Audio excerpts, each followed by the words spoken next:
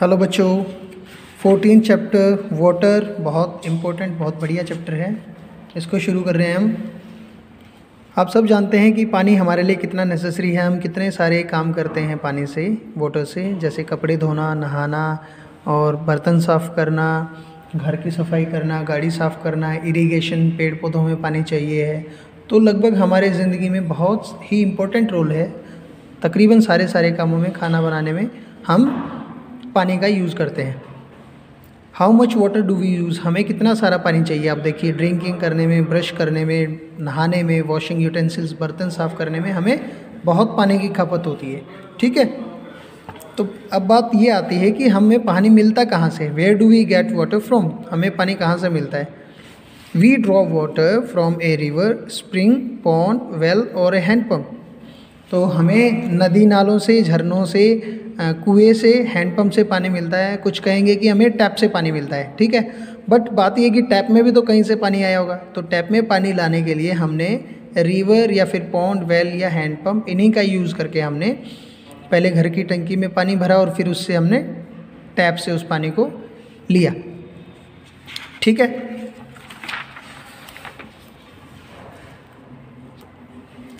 क्या आपको पता है do you know that about two third of earth is covered with water मतलब हंड्रेड परसेंट का sixty six point six percent जो है वो सिर्फ़ पानी है अर्थ के ऊपर। ठीक है? In the form of oceans and seas तो ओशन और सी का हमारी लाइफ में एक बहुत ही इंपॉर्टेंट रोल है।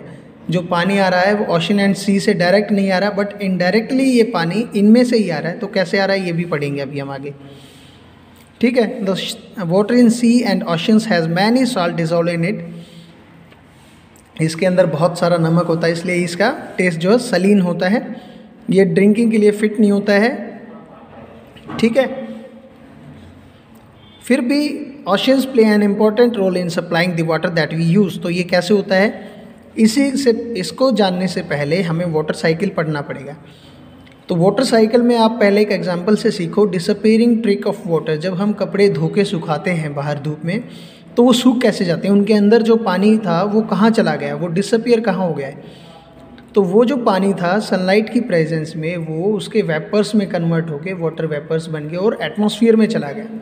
और एटमॉस्फेयर में चला गया तो फिर से अब हम उसी बात पे आते हैं कि ओशंस कैसे हेल्प करते हैं?